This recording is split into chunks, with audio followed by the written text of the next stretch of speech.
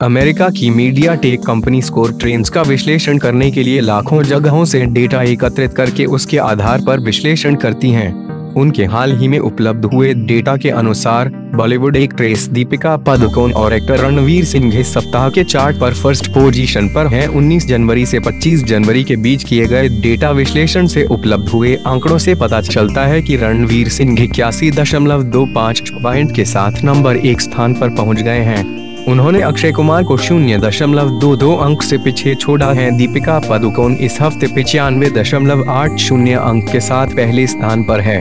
वहीं प्रियंका चोपड़ा को दीपिका ने पैंतीस दशमलव नौ आठ के बड़े अंतर से पीछे छोड़ा है।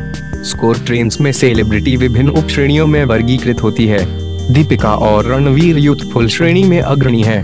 प्रियंका चोपड़ा प्राइम और अक्षय कुमार मैच श्रेणी में आगे है। सीनियर्स श्रेणी में माधुरी, दीक्षित और अजय देवगन सबसे आगे हैं। सोनम कपूर यूथफुल श्रेणी में बाईस दशमलव सात पाँच अंक के साथ दूसरे स्थान पर है, जबकि आलिया भट्ट बारह दशमलव छह आठ अंक के साथ नौवे स्थान पर है। शाहरुख सत्तावन दशमलव पाँच एक अंक के साथ तीसरे स्थान पर है। शाहिद कपूर पुरुष श्रेणी में अड़तालीस दशमलव सात दो अंक से पाँचवें स्थान पर है। गौरतलब है कि सलमान और आमिर खान इस सप्ताह छठे और सातवें स्थान पर हैं। मीडिया टेक स्पेस में स्कोर ट्रेंड्स के लिए डेटा और एल्गोरिदम महत्वपूर्ण भूमिका निभाते हैं। एटोमेटेड एल्गोरिदम से हर सेलिब्रिटी के बारे में निष्पक्ष स्कोर मिलने में मदद होती है। मशीन लर्निंग और आर्टिफिशियल इंटेलिजेंस जैसी तकनीकों की वजह से डेटा काउंटिंग के वक्त सेलिब्रिटी के बारे में डेटा खोजना और उससे हर हफ़्ते के उनके स्कोर गिनना आसान होता है। डेटा प्रकाशित होने से पहले वे विभिन्न मापदंड से गुजरता है। स्कोर ट्रेंड्स के सह संस्थापक अश्विनी कॉल कहते हैं, पिछले हफ़्ते रणवीर और दीपिका सभी सोशल प्लेटफॉर्म, प्रकाशनों, समाचार प्रसारण और डिजिटल माध्यमों में प्रचलित थे।